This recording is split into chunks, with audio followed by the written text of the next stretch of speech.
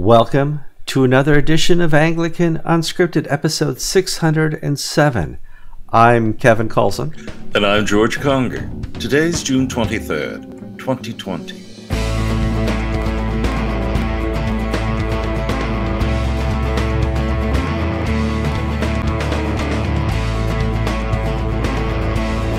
All right, thank you for tuning in to another episode of Anglican Unscripted. It's odd that we use tuning in because you're not tuning in old television to get in, or AM radio as they used to do back in the, the 30s and 40s. You are clicking. So thank you for clicking in to watch another Anglican Unscripted. If you have not yet subscribed to the program, now is a wonderful opportunity to click on that little red rectangle and then the bell next to it you will get instant notifications when a new show appears. If you so desire, you can like the show, and that helps promote the show. It's like free advertising. Click the thumbs up wherever you see it on Facebook or YouTube. If you have not become a commenter, and we have many, many, many, many, many commenters on our show, we appreciate that very much. That's where the conversation continues. Please look for this show on YouTube, and that's where all the comments appear. We also have a podcast. If you do not need to see us, but you don't mind hearing us, you can find the link to the podcast in the show notes where you can subscribe and it will automatically download to your phone. George, how you doing? I'm just fine. Mm-hmm. Surviving the pandemic. We have a daughter visiting uh, from uh, San Francisco. Mm-hmm. And uh, extraordinary hearing uh, hearing about a different world, uh, different worldviews, and everything. Oh, sure. I mean, I got to go to Pittsburgh with my wife. We took the the RV, which is a recreational vehicle for our international uh, audience, and we drove out to Pittsburgh and spent the weekend at a, a campground. Uh, uh, about uh, 40 minutes outside. It was uh, Pittsburgh. It was wonderful. We had wonderful cell service, as those who watched last week's program found out. And we got to hang out with our kids who are have a little different political perspective than we do, but we had a wonderful uh, time uh, having burgers and lots of high calorie bakery items. Well, you'd be lucky. You would at least get burgers. I get uh, tofu turkey and uh, vegan uh, uh, what are the, the, those fake hamburgers that? Uh, yes, tofu ham. Yes, uh, I can't believe that's not hamburger. I can so, believe it's not hamburger. absolutely.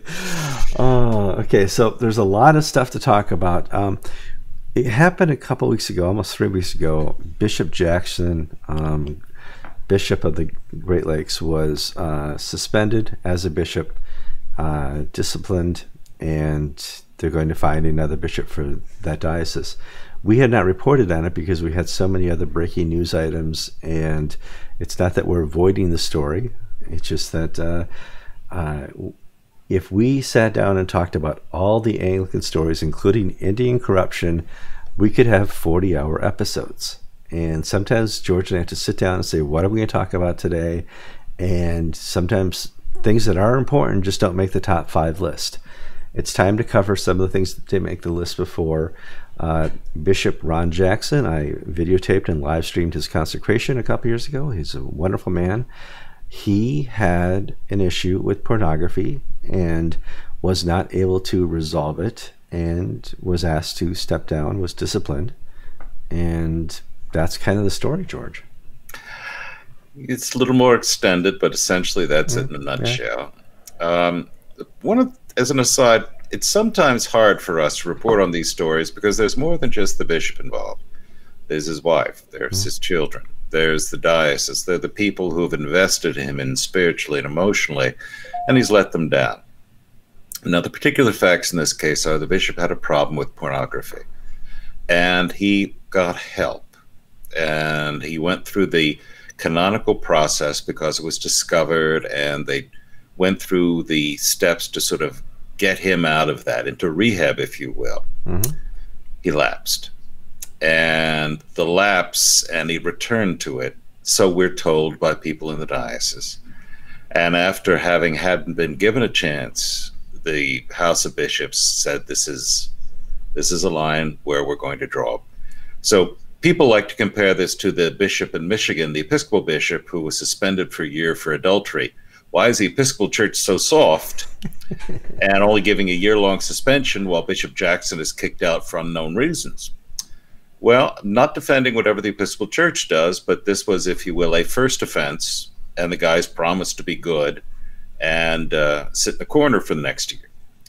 Bishop Jackson has already gone through that, and this is a second offense, if you will, on the same issue. So if the bishop, Whayne uh, Hougland, in Michigan, has another affair, he'll be tossed out on his ear by the Episcopal Church because he's basically a two time loser on this issue. So it, it when you talk about clergy discipline and people's shortcomings, it's really never helpful to compare apples to oranges or to say, well, why did the, they're more serious or they're meaner or they're more lax. We don't know the details and we don't know what's in people's heart. Just the only thing that can tie the two together is that here we have two men who have fallen short in the careers and in the ministries God has given them and they're paying the penalty right now of shame they, and loss of uh, loss of their ministry, they, either permanently or for a year. They deserve our prayers. They deserve, you know, to be loved members of our communities. But um, to be in the bishop status is to be above reproach. Mm-hmm. Um, and the Episcopal Church has kind of let that down in the last 20 years. But the ACNA has really held that standard for their clergy. I can think of personally about eight different situations in the last 10 years where the ACNA has come up against uh, clergy who needed discipline. In some respects, held them to the discipline, and the clergy repented and returned to ministry. And in other respects, maybe 70% were disciplined and they were not able to return to ministry and the the ACNA followed through and disciplined them to the point where they were uh, taken out of the ministries. And I, as a member of the ACNA, I appreciate that. It's hard. I know it's hard, but I appreciate that. There's an old saw that the three things that get clergy are sex, money, and alcohol. Mm-hmm. And I have to say, there's truth into that uh, I've reported on sexual scandals of adultery, of illicit relationships, of sexual abuse. I mean, the most shocking ones are the are well, uh, Peter uh, Bishop Moore of New York, who in the '70s and the '60s when was the lion of the Episcopal Church. Mm. You couldn't get any higher up the food chain. You couldn't get on the. He was on the cover of Time magazine well, when he retired, Mark Sisk, the new Bishop of New York, I think, came in and suspended him from any active ministry. And it was only after his death that Andrew Dietsche, the current bishop, issued an apology to all the people that Bishop Moore sexually molested. Um, and this is somebody that you know your mother or my mother would see or grandmother would see on the TV and say, "I'm proud to be an Episcopalian because look at the leaders we have." Yeah. Here's a man who won I don't know, it was the Navy Cross or uh, Silver Star or something Star, in, yeah, yeah. in in on Guadalcanal, a Marine Corps officer, and just you never know how sin, how Satan works. Satan works to destroy and corrupt and devour us, and we should not tolerate that in our leaders. But at the same time, we should not seek their destruction as human beings. No. Billy Graham was always famous for saying, if you're going to pray for me, pray that I am never tempted by money and never tempted by uh, uh, sex or, or women. You know, mm-hmm. and that uh, because when you are high profile, and I know we are high profile, I know the temptations that come about being high profile. Um, Satan really wants to destroy you. Uh, mm-hmm. He does not need uh, people who are image bearers of Christ imitating Christ uh, in very public ways. Does not want that in any shape or form. In my uh, class in seminary, I can think of two people who've been bounced out from the ministry one for sex mm-hmm. issues and one for uh, money issues. And both had troubles with alcohol. And knowing them, they weren't bad people. They had the highest motives, they were the purest motives, but they dealt with the pain of ministry, mm-hmm. the loneliness, the stress, the I can't do anything about it, partially through alcohol. Mm-hmm. They would numb themselves and I guess that numbing led them down a path that one led him to the adultery, and the other led the other fellow to fiddling his uh, the books. And you know, it's not that these are evil people who set out. Oh, I'm. This is the easy way for me to meet women is to be a priest, or this is the way to be a really good career criminal to be a priest. But rather, Satan seeks the destruction of people who do God's will. I had a pastoral anecdote. In my parish in Sebastian, Florida, 20, gosh, 20 uh, plus years ago. Where's Sebastian, Florida? Sebastian is just north of Vero Beach. Is that right? It's my first parish. I wasn't happy there, but next to, not next, but within about a mile away was a commune called Kashi Ranch.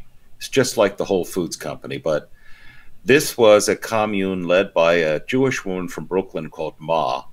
And she, they were all Hindus and they would get involved in yogi flying and transcendental meditation. And they lived in a commune. And one of the people left the commune and started coming to my church. And he said, Well, you know, we call upon uh, the demons of this world to destroy the ministers and their families around us. Now, he may have just been trying to get me on edge. I don't think so because he repented of his former life.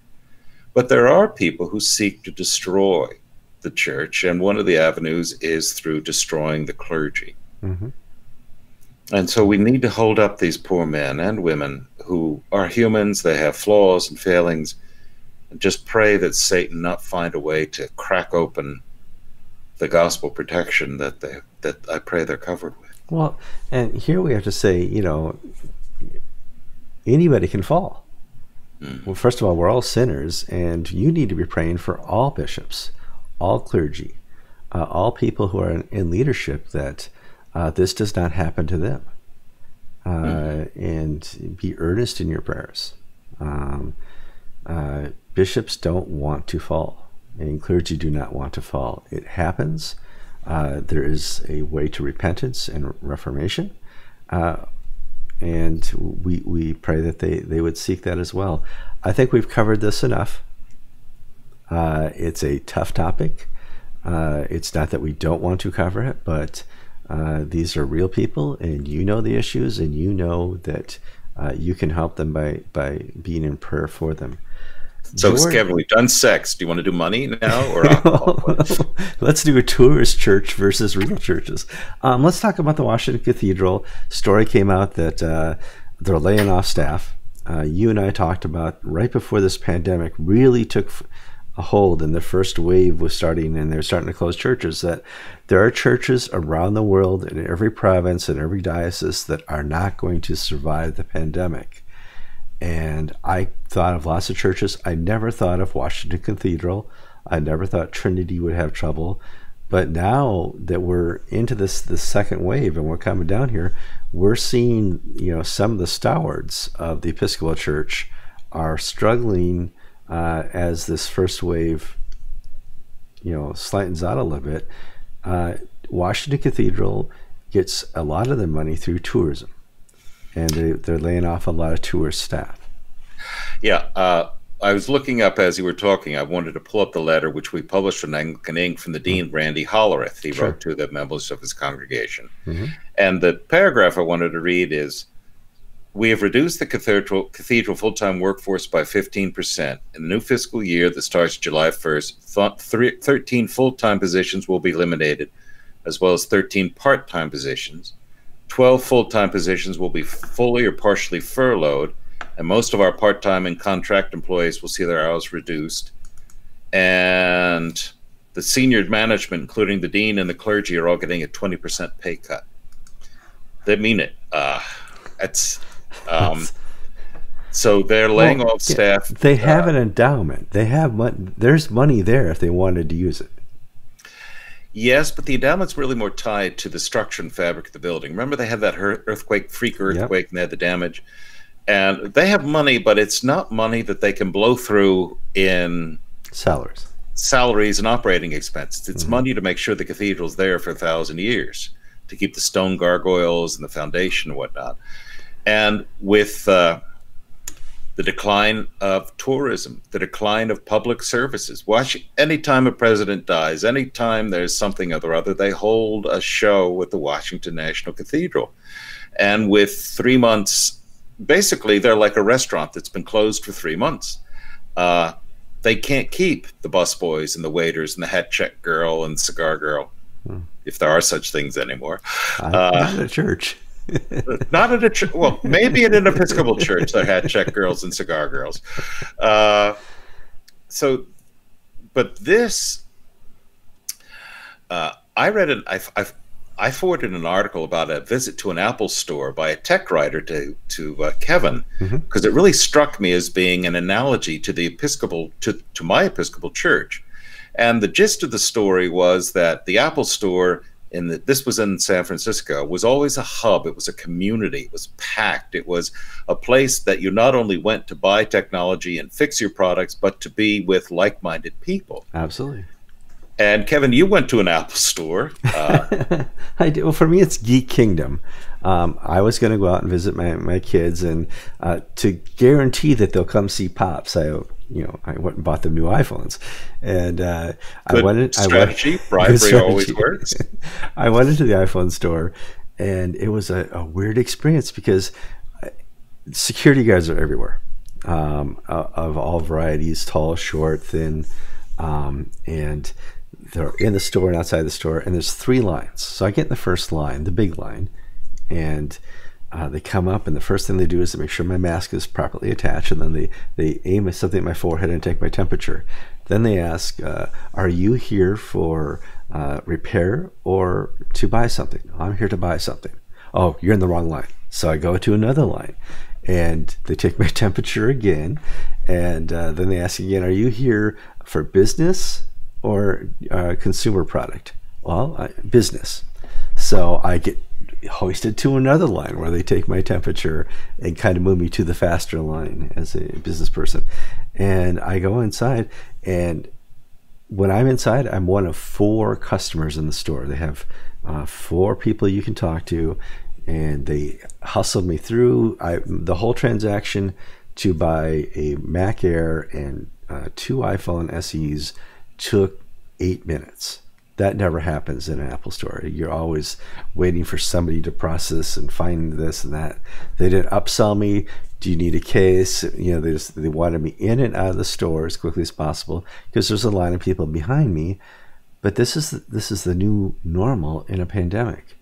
That geek geekdom feeling where you're going amongst your people that that social presence that I'm I'm welcome in the store and um, I'm amongst people who love this technology as much as I do. It's different, George. It's it's it's no longer there. It's gone. The message Apple was giving people is, we really don't want your business, yeah. but we'll we'll put up with it if you jump through these hoops. And where the analogy was hitting me strongest was, this is what the churches are doing, uh, especially the Church of England. They're really mishandling this, of basically saying, you uh, we really don't want your business. We and they're I don't mean to be unkind, but they're being all sort of self. Uh, the Prime Minister Boris Johnson gave a speech to the House of Commons announcing the government's new policy, and churches can now reopen uh, after July 4th or 5th? 4th. July 5th. Yeah. Saturday's a 4th is a Saturday, might be okay. the 5th. Uh, but you have to be two meters apart, which is about six feet, or one meter plus if it's packed church and certain other little hoops. And the Church of England has announced, you know, had announced earlier that the churches are open for, open for private prayer.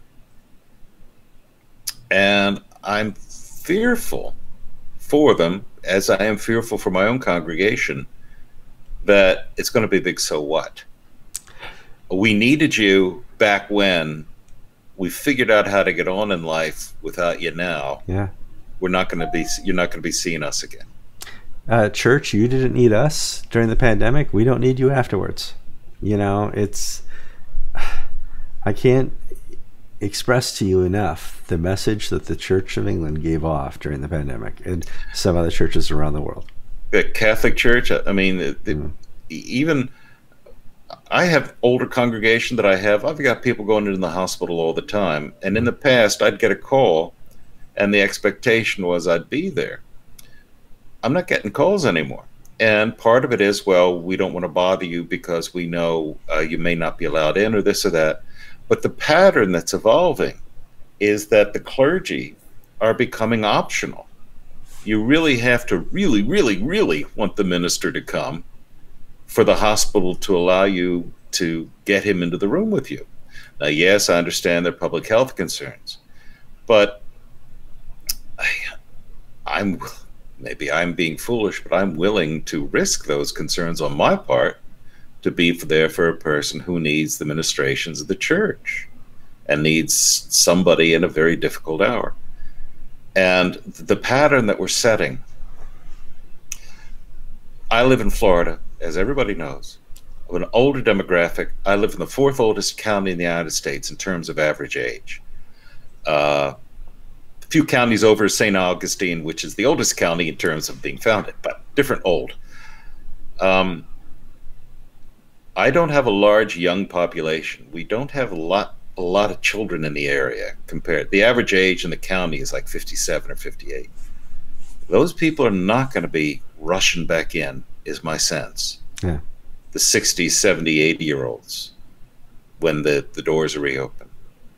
Uh, our church started public worship again two weeks ago. Uh, and, and, I told you guys that Connecticut really never canceled public worship. Um, and it's working. People are coming as many people as can be filled into our church by the, the 25% rule. they're doing that. The rest are watching online. Um, and it's encouraging to, to, to watch the video and see people worshiping again. Their um, church is not the same. Well, Kevin, there's also the difference between I live in Christendom, mm-hmm. where the culture is that you're in church on Sunday morning. You're odd if you're not. Right. Um, so if you go to the supermarket at uh, say 11:30, 12 o'clock on a Sunday morning, three quarters of the people will have church clothes on. Right. Uh, Connecticut, you have to want to go to church, and you're yeah. So in essence, the people who go to your church are more committed. Mm-hmm. Whereas I have that committed core, but at the same time, I have a very large. I don't want to say cultural because I don't wish to put anybody down but it's a more of a tenuous relationship with sure. the faith that is part of being part of a Christian culture. So Kevin's situation is much more like England than mine is. Mine is maybe I don't know, well, more like Nigeria or someplace. Well, yours people, is religion more, is more. It's more habitual. Mm-hmm. You know, the habit is this is our Sunday thing, um, and the habit here Sunday is golf courses, uh, to go grocery shopping at, 9 uh, a.m. in the morning and to get up and watch HGTV uh, reruns of all the stuff you're not going to do to your house. And so that's that's the habit here in, in, the Northeast. And when you are driving on Sunday morning to church and you see other cars, except for the interstate, they're normally driving to church. There's not a lot of them, but you're like, ah, I knew he was a Christian. I you know, when a neighbor hops in a car at at you know 9:30 on a Sunday morning, you, are gathering information about your neighbors. Um, and and one of the things I'm trying to figure out how to go forward because mm-hmm. my little mantra is that a church is like a shark. If it's not going forward, it's drowning.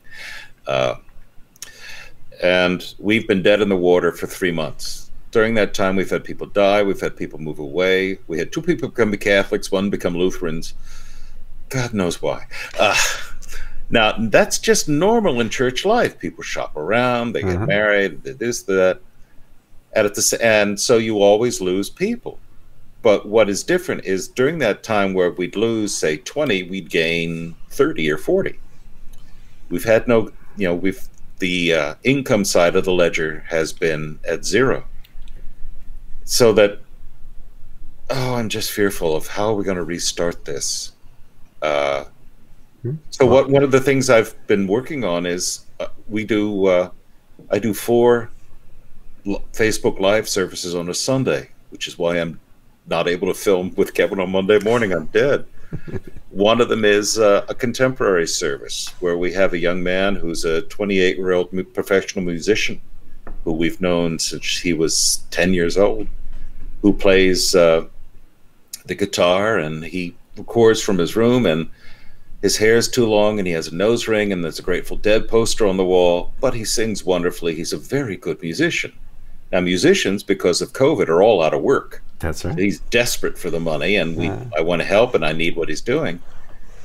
And I've got a show, show. I've got a service where I feature his contemporary music because I want to be able to go forward to have a in-person service with that to attract that demographic of young people who really wouldn't know what to do if they walked into a typical Episcopal church with the organ playing and everybody's 65 plus. It's still packed, but it's not their culture.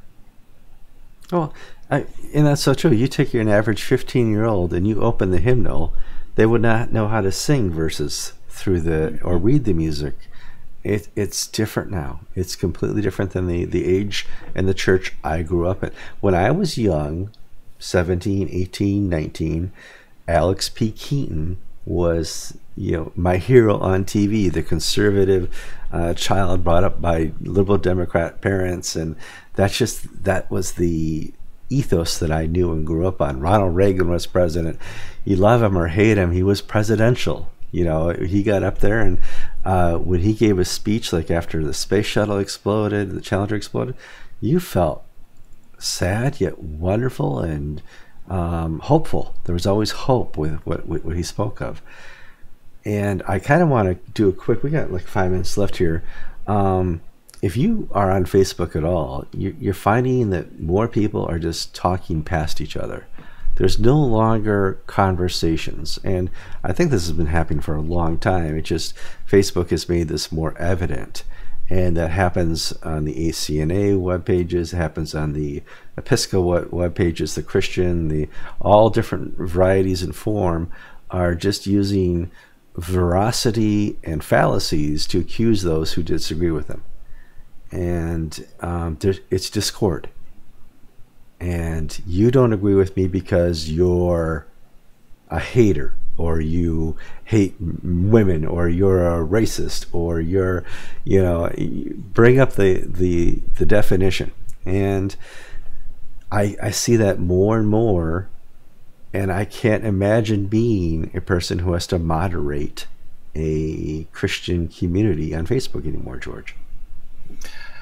The troubles of the world the the hatred and the animosities and the partisanship and the absolute certainty of people who really don't know what they're talking about has infected religious discourse. Mm-hmm. Uh, and you have otherwise sane people calling other clergy racists, or you have any, or some people who are active in their churches, go to church, and anytime a woman priest posts a comment, their response is not a response to the comment, but, well, you're a woman priest, you're going to hell, you're not a real priest. Now, this is not the place to debate women clergy and all this and that. But at the same token, how can you call yourself a Christian if you're, you're shouting racist or you're shouting false priest or you're shouting homophobe or yeah, all these different fallacies. I mean, we can't have have a discord. We can't have conversation, open conversation, open table, open discussion if we're going to use fallacies. Part of the part of uh, this is my opinion, mm-hmm. so it means nothing except that I think it's true. Uh, part of the ACNA Episcopal structure is a reaction against the Episcopal Church's structure. That's fair. Episcopal bishops sound off on every issue, no matter what it is, and they always sound stupid, if in my opinion. Very fair, George. so that the ACNA has taken the opposite tack. They don't. Their bishops don't say anything about anything. they so whereas the Episcopal Church, you know, bishops are free to tear into each other, to disagree, to take both sides of the issue. There are fewer taking both sides now because they've kicked all the good ones out, just about the ACNA is not its Episcopal leadership has pursuing collegiality, I think, a little too far. Maybe to a fault. You know, they're pursuing it to the point where And I remember this early on. I was talking to two or three bishops in 2008 or 9 in Plano and said the rule is we're not allowed to diss another bishop. That's part of this whole structure. No bishop is allowed to say anything bad about another bishop's ministry or or actions or stuff like that. I said, yeah, that's fair. But now they've taken it so far that um, bishops basically aren't speaking out on a lot of topics you would think they would uh, speak out on unless they're doing it in joint letters.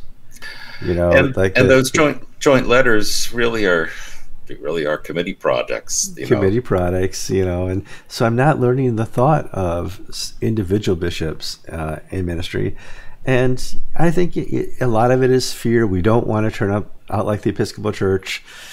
Yeah, I, I get that, but I think a lot of it is, you know, at some point you have to also be individuals in, in your episcopacy and be able to promote uh, Jesus in your your your new, your unique way. I can't even talk after all this talking. It's it's not a call for the ACNA to get political. In other words, to start talking. Nope. That's not exactly what we're saying. Yeah, yeah. But while everybody else is being political, I think the world is eager and waiting to hear a Christian message of love and redemption and salvation that's just as powerful as the Trump is an evil, Trump is God's gift. Sure messages that we're hearing. Uh, silence now, is a choice, but and, let's and be sure it's not a smart one. I think. I want this message to go to all provinces, to all bishops, to all clergy, not just the ACNA. It's okay to speak. It's okay to have an opinion. Um, yes, I know you don't want to be like TEC, but that that you know this is for everybody. All right if Kevin and George can click on our cameras twice a week and, and give you our opinion, you as bishops, as consecrated uh, representations of uh, uh, Christ's kingdom on this world, you're allowed to speak as well. Um, George, that kind of covers the whole pro- program until Friday when we do this all over again. I'm Kevin Kallsen. Well, Indian. Oh. Well, can we do Indian corruption, or is that? Uh, that's we're going to kick that can down the road a little we, far. Well, here's the problem. I mean, that's episodic. We would have uh, season one, episode one through forty, season two, episode forty through whatever. I mean, that just goes on forever, and it's almost racist. No, no, no, no, no. Okay. I'm God, Kevin Kallsen. Let's not go down that road. My daughter's been visiting. I don't need to. I don't need to have that fight on, on this show. I'm Kevin Kallsen. And I'm George Conger, and you've been watching episode 607 of Anglican Unscripted.